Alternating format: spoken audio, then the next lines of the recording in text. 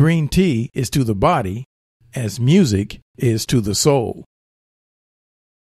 And that is the thought for today.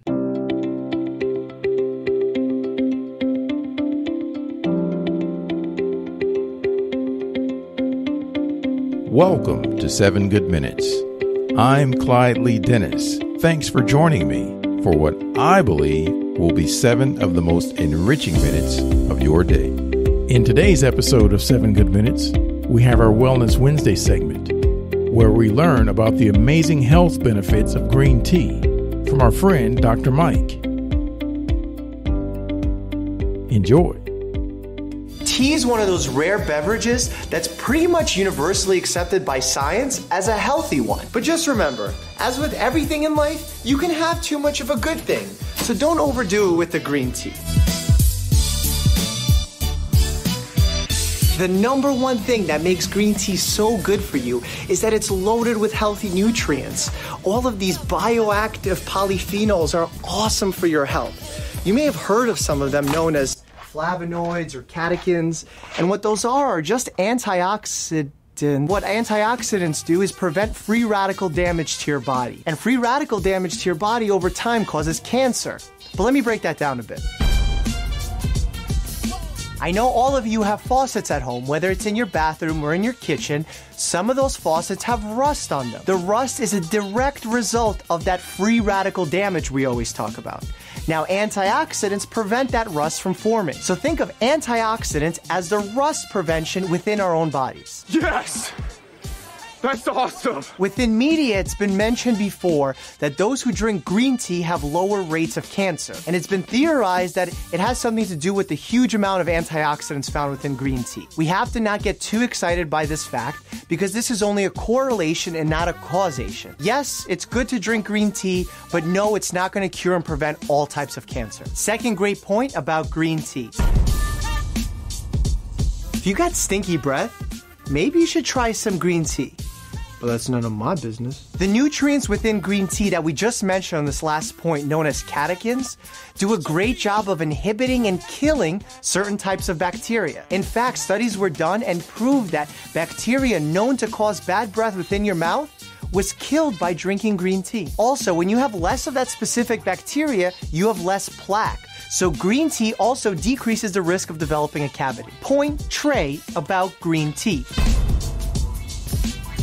It does a great job of giving you stable energy without all the jitters. It has about 30 to 50 milligrams of caffeine, which is roughly half a cup of coffee. You're still focused, you're still stimulated, but you don't have that jittery feeling that you get with a big cup of coffee. Another nutrient within green tea that works together with caffeine to boost your brain function is called L-theanine. Its benefit is that it gives your brain relaxation without the added sedation or drowsiness that come along with other relaxing agents. While we've seen in animal and lab models that it increases your good cholesterol and lowers your bad cholesterol, what we found in animal, lab, and human trials is that green tea lowers your blood pressure.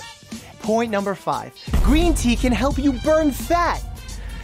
Well, maybe. This is more of an individual case by case basis thing because not all studies agree on this. But there is a promise of increased metabolism and fat oxidation, essentially fat burning. Some of the lab models have shown a decrease in new blood vessel formation within your fat stores, meaning that it literally takes away the vital nutrition for your fat and makes it die, kicking that fat's butt. Point number six animal and lab models both show that catechins, the nutrient we keep mentioning over and over again, decrease the risk of you developing Alzheimer's and Parkinson's disease. Science isn't clear on why this occurs, but it's theorized that it has something to do with the decrease in the development of plaque within the brain. If that doesn't encourage you to take a sip, I don't know what will. Point seven. Now, this is the game changer. This is the one that everyone gets excited about. Green tea may increase your lifespan. There's been a ton of research done on this. Some studies even have 40,000 participants that show those who drink three to five cups of tea a day have an increased lifespan, have a decreased all cause mortality, that means dying from anything, have decreases in heart disease, decreases in strokes. But before we get too excited, we need to remember correlation versus causation. Just because those who drink green tea live longer, it doesn't mean green tea is the sole thing that's responsible for that effect. So, yes, enjoy your green tea, but don't think you're gonna live forever. Here's how you create the healthiest cup of tea possible. Don't add green tea directly to boiling water as it destroys those healthy catechins we've been talking about. Don't go decaf because the decaffeination process hurts more of the nutrients found within green tea. Add lemon into your tea as it aids in the absorption of some of these nutrients. Finally, don't cheap out. Go for the good premium stuff, as it contains more of the healthy nutrients we've been talking about all along. I need you to know this. Don't buy into the BS supplements that take green tea extract and claim that it has miracle health benefits. They do not. The real thing is always healthier than the supplement form. Please keep in mind, this is about half of the entire presentation. If you're up for a treat, you should definitely listen to the whole thing.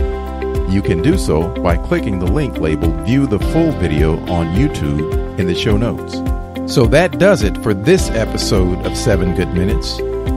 Until next time, let's be civil to one another out there. Thanks for listening.